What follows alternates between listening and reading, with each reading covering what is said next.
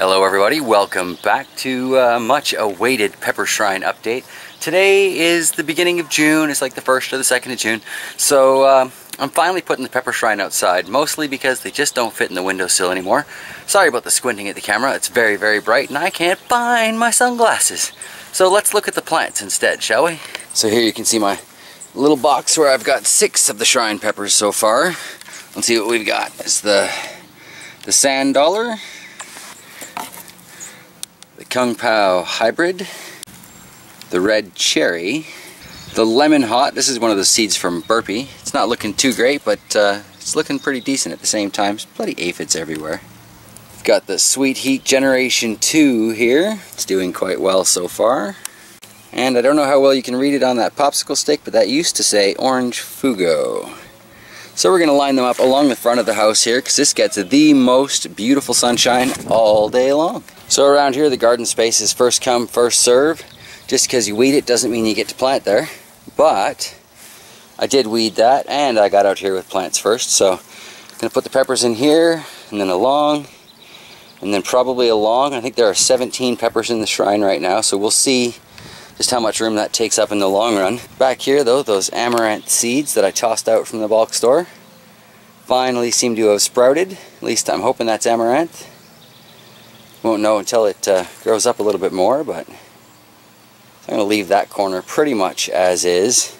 And just plant out single row of peppers in front and along here and like I said along there. And we will see how it does. I think this is the sunniest part of the yard all day. So, let's get started putting these into ground. So first up is the orange fugo. Here are the roots that formed inside that cup plant itself doesn't look too bad aside from the aphid infestation, so I'm just going to plant that a little bit deeper. Wild hair blowing in the breeze there. It is what it is. Anyway, I'm going to plant this down and then uh, we'll take a look at some of these others. I don't know how many of you remember the orange fugos from last year, but that was almost um, an orange creamsicle colored pepper. This I'm really excited about. So the next one I'm putting in is the sand dollar. This was also kind of a an orangey pepper shaped somewhat like a patty pan squash, so basically uh, kind of a UFO. Very funky. Let's take a look at that once it's in. Alright, quick correction. Let's take a look at those roots first because I'm fascinated by this stuff. Again, it looks like some really excellent root growth. Not surprising considering how tall this plant is and it's been topped.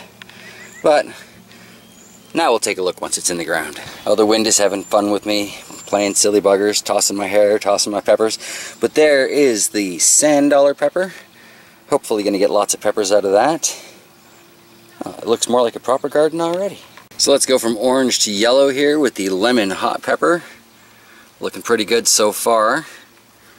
Hopefully it'll continue to look good once we put it into the ground. Let's take a look at those roots. Not quite as marvelous as some of the previous roots, but considering it's supporting this plant, I'm going to say it's a, it's a good enough root structure.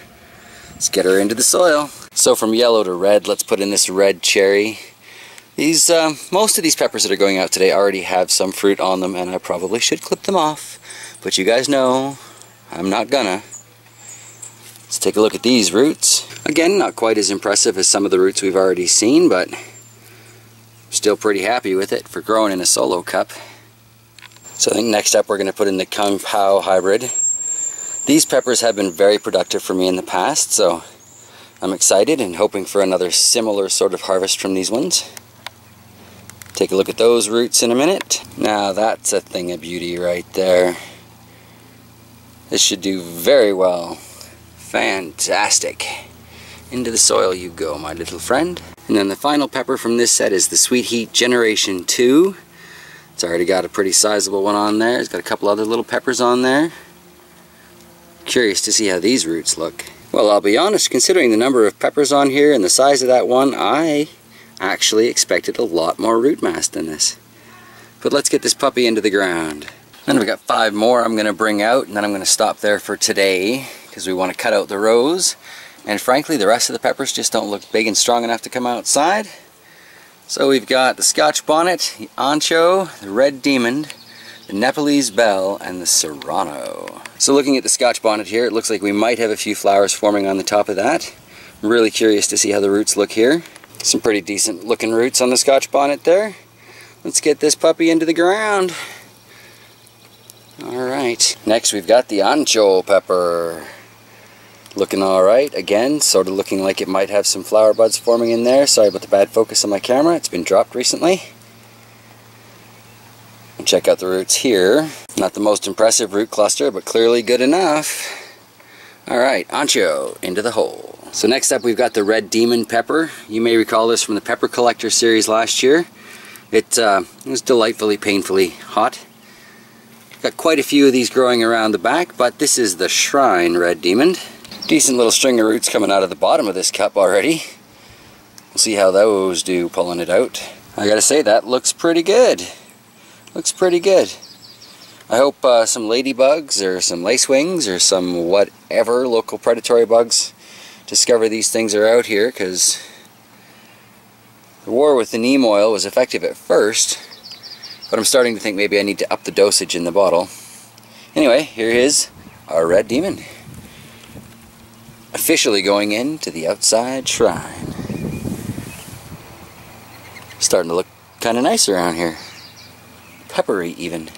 Next we have our Nepalese bell. I was unsuccessful growing these last year, but hoping for better results. This plant already looks better than the seedlings I had last year for this strain. Just need to check on the roots and get her into the soil. Not the most impressive root system in the shrine, but clearly doing the job. In you go. And today's final pepper is the Serrano. Looking alright. We'll see how it did. Again, it's a less than overwhelming root system, but clearly doing the job. Down you go, my little friend. So there we're going to wrap it up for today. We've got 11 peppers from the shrine. Now outside, dealing with life in the really real world. I hope they deal with real world life better than I do. Grow, little peppers, grow! So as you can tell, I clearly still haven't found my sunglasses yet, but that was a lot of fun, putting those peppers out and, uh, well, letting them experience life in Manitoba in a really real garden. So this is really new for me. I'm, I'm quite nervous not having them in pails that I can move around if I like the sun better somewhere else. So they're, they're stuck. So yeah, we'll, we'll just hope for the best, shall we? Alright, so I'll plant the rest of those out into the garden area once we rip up the rows and uh, they get a little bit stronger. And there's a couple peppers from the shrine that I think are just going to stay inside. I'm hoping to get um, a proper LED grow light, you know, one of the funky purpley, reddy, bluey color ones. And uh, yeah, hopefully I'll be able to get some seeds from those like that, that Trinidad Scorpion from Chad, for example, I've only got the one, so I'd really like to get some seeds from that. And the Tangerine Dream, I've only got the one, so I'd really like to get some seeds from that. And uh, as for the rest, well, here's to hoping I get an aeroponic system set up so that I can clone them come fall. Alright everybody, through sun-blinded eyes, I am going to say thank you for joining me so much today as I plant out part of the Pepper Shrine, and I will undoubtedly see you Sunday. Take care everybody.